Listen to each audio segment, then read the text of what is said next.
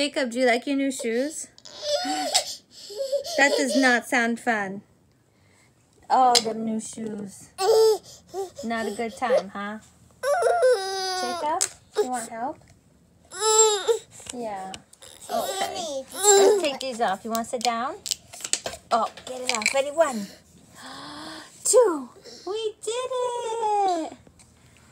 Now he's going to try to put it on again. Jacob. Dear Mama, me. Dear me, Mom. Jacob said, I'll help you.